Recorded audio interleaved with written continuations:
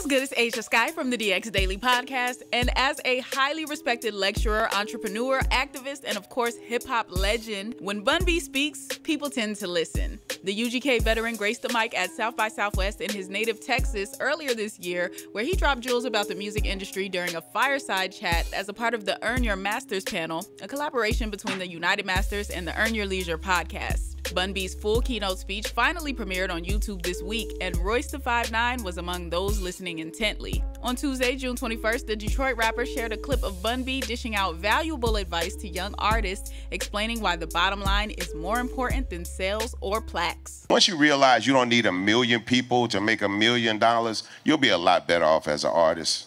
Because numbers in that sense are capped. Like the, how many records you sell is capped. How much money did you make off the records you sold?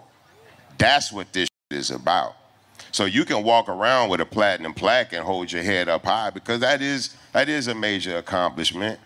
But you can't eat off that motherfucker. You there is no check that comes with a platinum plaque if you don't do your business right.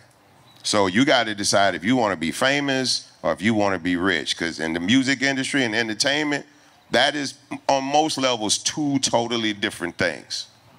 You don't know the richest people in entertainment. But what you, You say, don't. What you, you, say, you simply don't. You think you know because you've seen people on TV. They're nowhere near the richest people in entertainment. Puffy, Hov, Russell, maybe, but there's there's eight other people like that. You never heard of Clarence Avant until they put the movie on Netflix.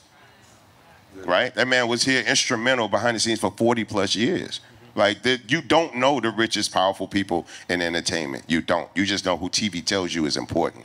Royce captioned the video with Napalm Bomb. And then legendary producer and executive 9th Wonder checked in in the comments and said, Say it louder. Questlove also co signed Bun B's advice by leaving a fax emoji. Also, within the Earn Your Masters keynote speech, Bun B spoke on the importance of embracing change and listening to younger generations, something that Rap A Lot Records founder J. Prince taught him about the business. I didn't get this far by thinking I knew everything. I got this far because I was willing to admit I didn't know everything. It's very hard for people to get in front of people they look up to and admire or want to work with and, and collaborate with and tell them you don't know everything. Fake it till you make it. Don't let them, that's a lie. Don't, don't follow that motto because you're going to end up on the work site or in the workplace having said you could do some shit and then you can't perform or you can't come through and now that's your reputation. So if you don't know, tell somebody you don't know. If you want to know, ask somebody.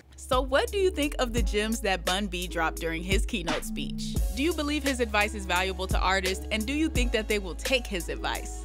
Let us know in the comment section. Also, subscribe to the channel, hit the notification bell, subscribe to the DX Daily Podcast, and keep it locked to Hip Hop DX.